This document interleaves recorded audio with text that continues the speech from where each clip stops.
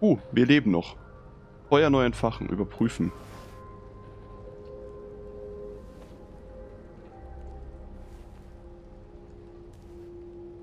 Ist das die Hauptaufgabe mit dem Feuer? Ja, okay. Dann gucken wir uns erstmal wieder ein bisschen um.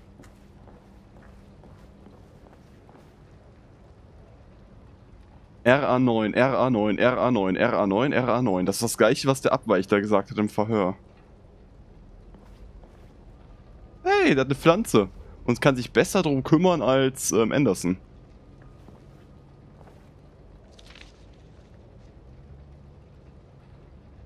Oh.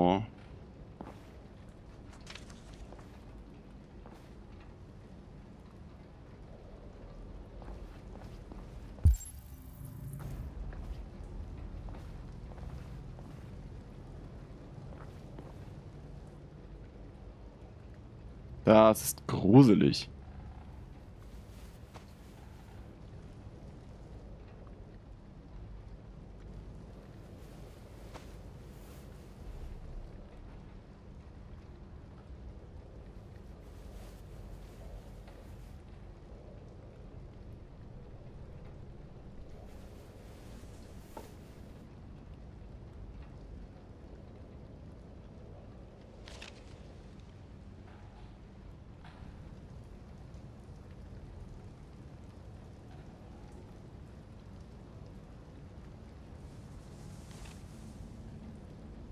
Nur den einen Schein. Sorry, Ralph. Der gleiche Spruch, I'm alive. Und auch wieder hier in, ähm, Cyber, nee, was? Cyberlife? Zanze, wie hieß das nochmal? Hey! Cool, die Zeitschrift. Cyber Wildlife. Erste Androiden-Zoo wird eröffnet. Und der Löwe hat auch diesen Kreis da oben. 0,4% haben recht, oh Gott. Cyberlife eröffnet in Los Angeles den ersten Androiden-Zoo, in dem sämtliche exotische Arten präsentiert werden, die in den letzten 30 Jahren ausgestorben sind. Landschildkröten, Eisbären, Berggorillas, afrikanische Elefanten und diverse Tigerarten gehörten zu größten Attraktionen. Cyberlife CSR-Sprecherin Daniele Carnegie Carnegie, keine Ahnung, sagte, der Zoo wende sich an Menschen jene Alters und habe die besondere Aufgabe, die jüngere Generation über die Bedeutung des Schutzes unserer fragilen Umwelt zu bilden und zu inspirieren. Ich hasse meine Finger. Runter! Danke. Cyberlife eröffnet in Los Angeles den ersten Androiden. Zwar beklagten Umweltschützer der Zoo mindere das Bewusstsein für das Aussterben der echten Tiere, doch fällt es schwer, die Technologie zu verdammen, die in der Lage ist, ausgestorbene Spezies wieder zum Leben zu erwecken. Die Tiere selbst müssen noch präsentiert werden, doch Cyberlife verspricht, dass sie die Realität noch übertreffen werden. Zweifellos ein idealer Wochenendtrip für die ganze Familie. Kanada. Kanada noch androidenfreie Zonen. Ach, hör auf. Saubere Luft und immer ein herzliches Willkommen.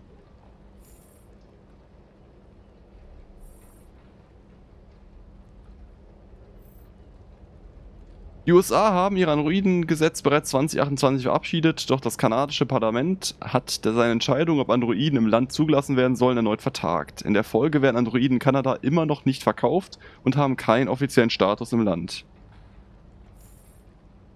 Zwar kurbelt die, Andro kurbeln die Androiden das Wirtschaftswachstum der USA weiter enorm an, jedoch führt dies auch zu einer Rekordarbeitslosigkeit.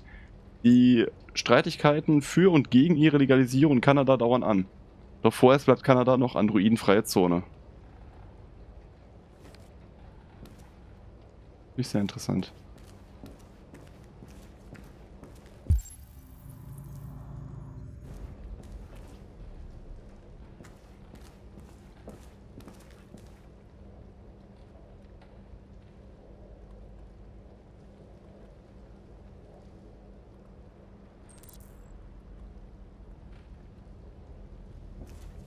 Eine neue Kleidung. Ja, aber nicht hier, oder?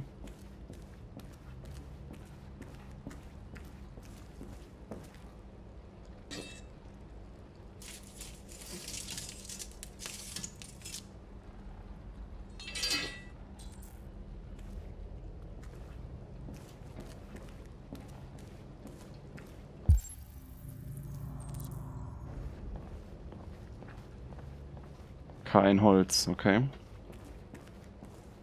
Wo ist denn Ralph hin? Er meinte der versteckt sich, wenn hier Obdachlose sind, oder?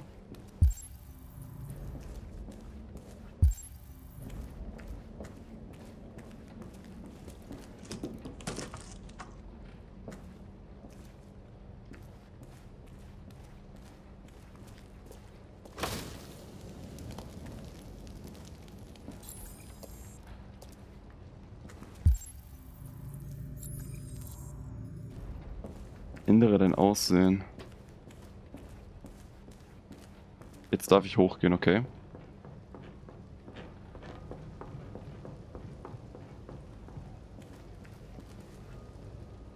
Hm, was ist da drin?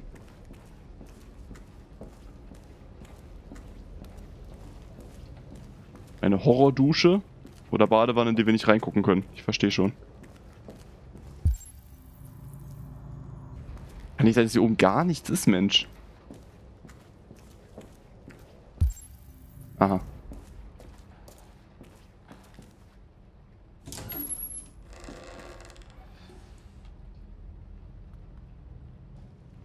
Also gut, dass wir das nicht geklaut haben. Ne?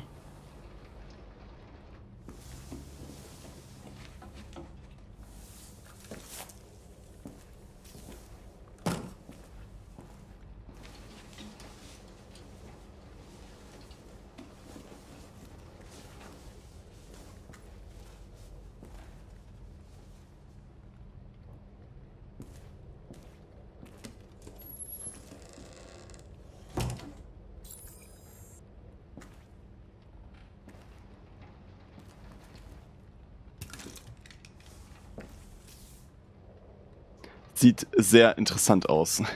Wir sollten uns mal diese LED da rausnehmen. Am Rande. Schneide die Haare. Dann brauchen wir jetzt also das Badezimmer hier oben.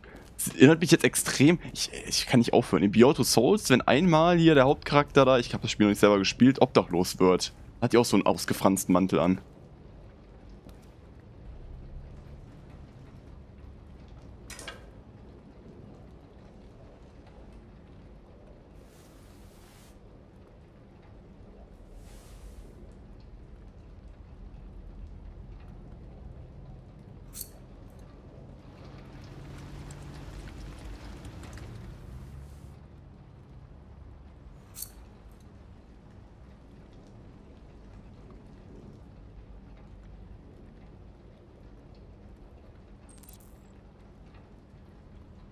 Hm, wähle eine neue Haarfarbe aus. Blond, weiß, schwarz, fertig.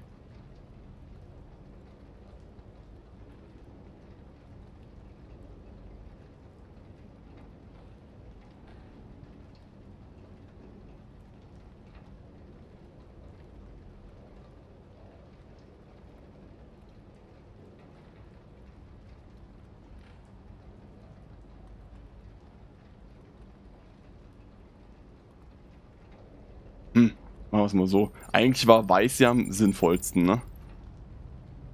Tatsache.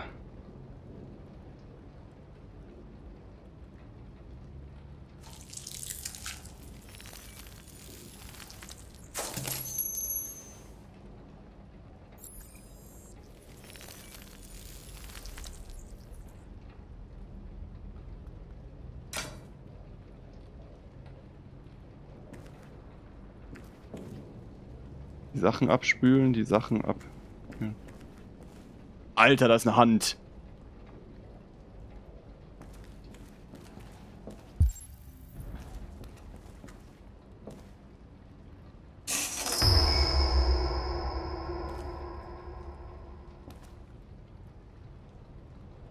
Oh, scheiße.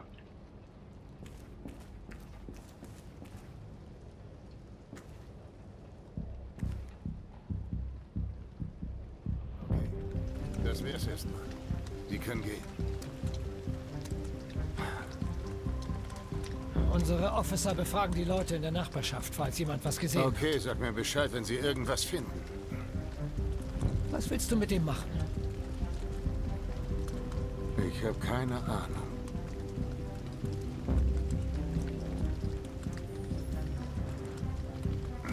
Schon 2.30 Uhr. Sie nahm den ersten Bus, der vorbeikam, und fuhr bis zur Endstation. Die Aktion war nicht geplant. Sie handelte aus Angst. Androiden fühlen keine Angst. Abweichler schon. Sie werden von Emotionen überwältigt und handeln dann irrational. Aber das sagt uns nicht, wo sie hin ist. Sie hatte keinen Plan und kein klares Ziel. Vielleicht ist sie nicht weit. Vielleicht.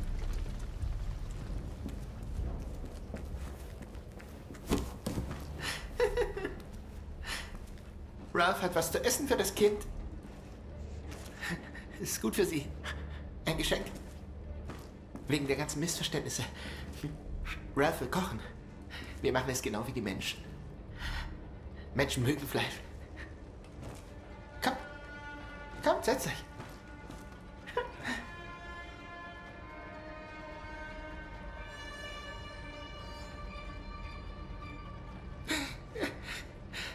Schon besser?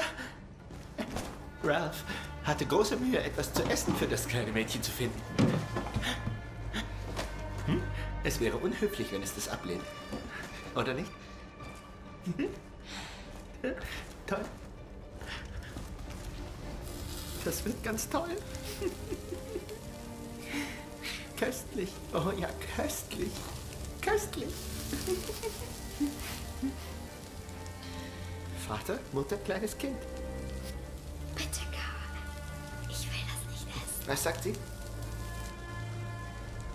Sie sagte, sie möchte nichts essen. Vielleicht ist es nicht gut genug.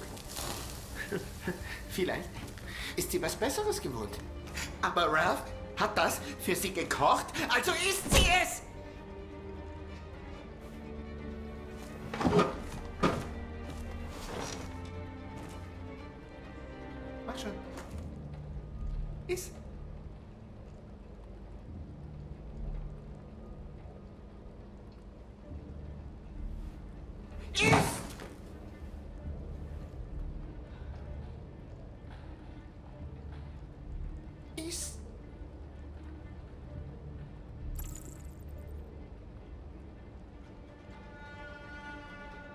Ich habe die Leiche gesehen. Du hast den Mann getötet, nicht wahr? Nein. Nein, er war schon so, als Ralph ihn fand.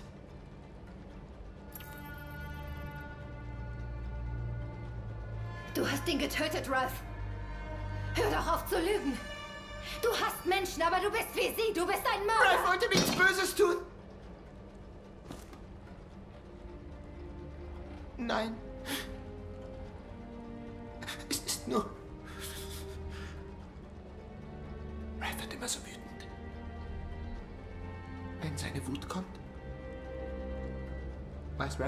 Was er tut. Er. Er denkt nicht mehr nach. Ist voller Hass. Ralph tut es leid. Er wollte nur euer Freund sein. Dann lass uns gehen. Jemand zu Hause?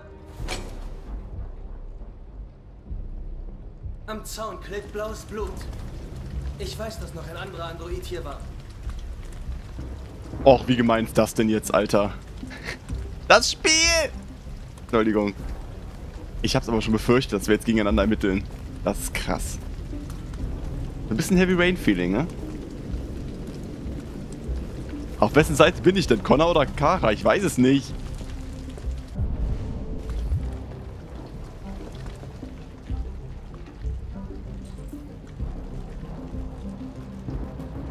Ah, ich schätze mal, er hat Kara flüchten lassen und hält uns jetzt auf, oder?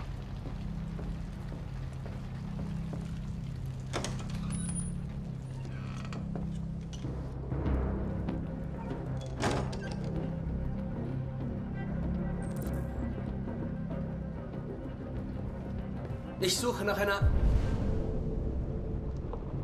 AX400. Hast du sie gesehen?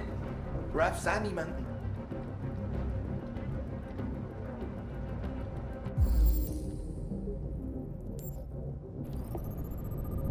Mann. Hinweis auf Softwareinstabilität. Wahrscheinlichkeit der Selbstzerstörung Mittel. Modell WR 600 Gärtner. Als vermisst gemeldet. Brandfleck. Inversibler Hautschaden. Äh, mögliche Ursache extreme Hitze.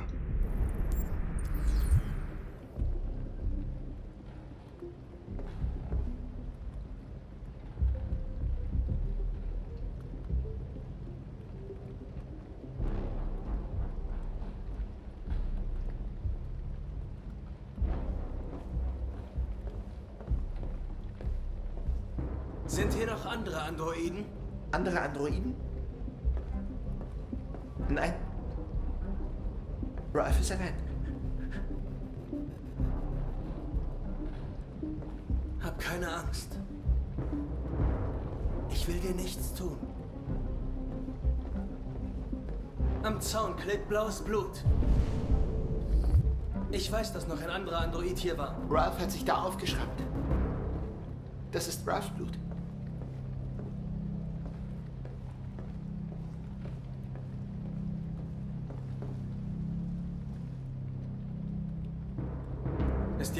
Oben? Nein. Niemand.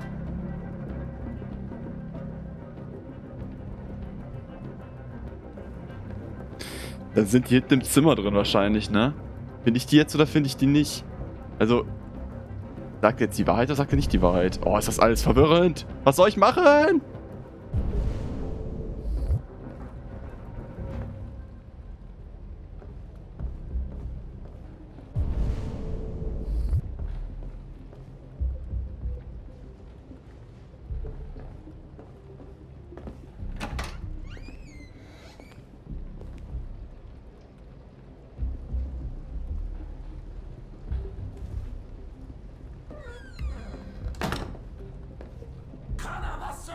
Du da drin?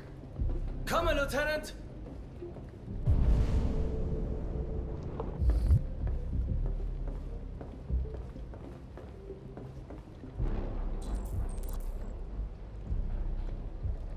Kuscheltier.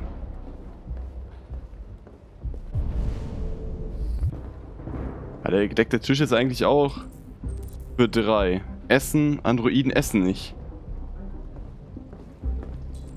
Androiden brauchen keine Wärme.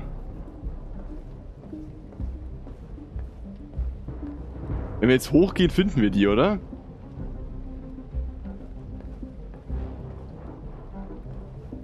Steigt sein Stress, wenn ich hochgehe? Ja, ne? Ich komm gar nicht hoch.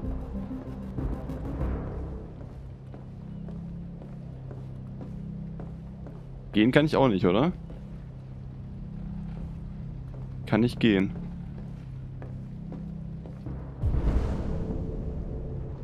Kann, kann ich hier noch reingehen? Oder ist es das gewesen hier?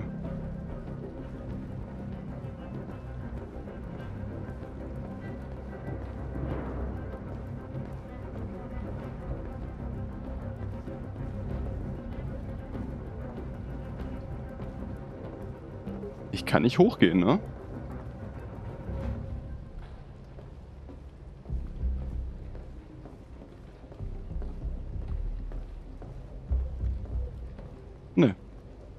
Wo sind die denn überhaupt? Ich hab keine Ahnung.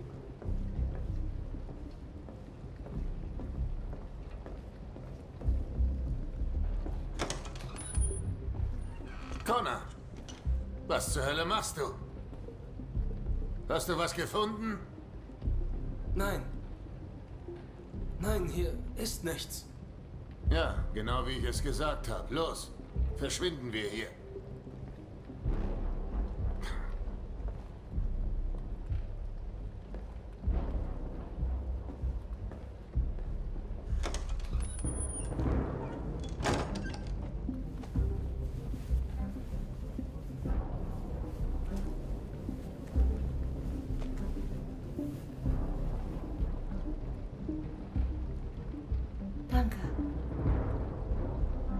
Beschützt das Mädchen.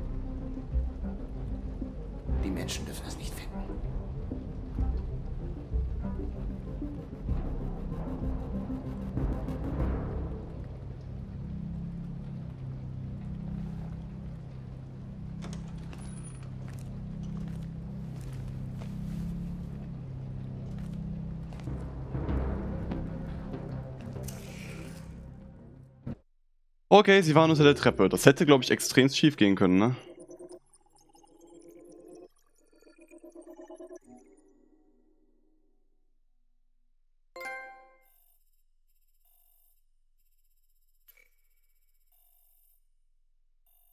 Ach so, wir hätten jetzt auch im Hotel sein können. Boah, ist das krass, Alter. Okay. Geld stehlen hat kaum jemand. Schwarz, ja. Braun haben ganz wenige nur gelassen. Waffe wiederholen? Wer hat denn die Waffe liegen lassen? 82% lassen die Waffe liegen? Leiche in der Badewanne finden. Ah, die Hand war schon offensichtlich. Die hat man im Spiegel auch gut gesehen. Polizei trifft ein.